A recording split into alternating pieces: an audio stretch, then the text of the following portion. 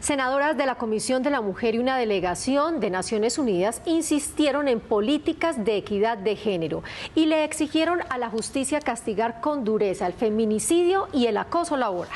Este 8 de marzo, cuando se celebra el Día Internacional de la Mujer, la invitación es al respeto y también al empoderamiento. Con esta nota los invitamos a nuestra próxima emisión. Gracias por ver Senado Noticias. Según el Foro Económico Mundial, 255 años se demoraría el mundo en acabar con la brecha entre hombres y mujeres. Frente a este enunciado, la Comisión de la Mujer en el Senado y la Delegación de ONU Mujeres cuestionaron la falta de políticas gubernamentales para garantizar la equidad de género. El cambio está ocurriendo muy lento. Entonces, este no es solamente un problema de Colombia, es un problema global, sobre todo en América Latina, donde además confluyen altos niveles de desigualdad. Aunque señalan que a nivel legislativo existen las herramientas para garantizar la igualdad, el problema es la falta de implementación de las normas. Leyes en este país existen, pero no se aplican ni se conocen. Yo creería que tenemos que hacer una difusión más grande en este tema.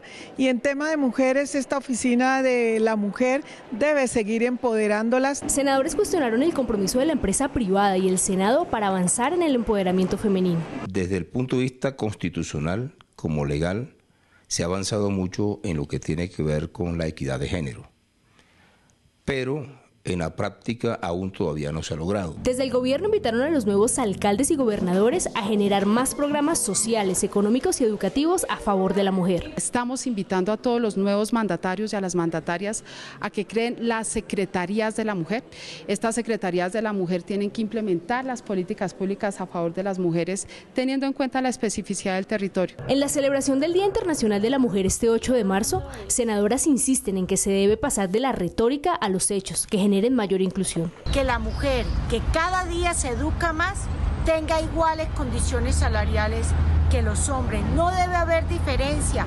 A igual trabajo, igual remuneración. Acabar con las brechas entre hombres y mujeres, según algunas senadoras, ayudará al avance de la sociedad y a reducir los índices de pobreza en los territorios.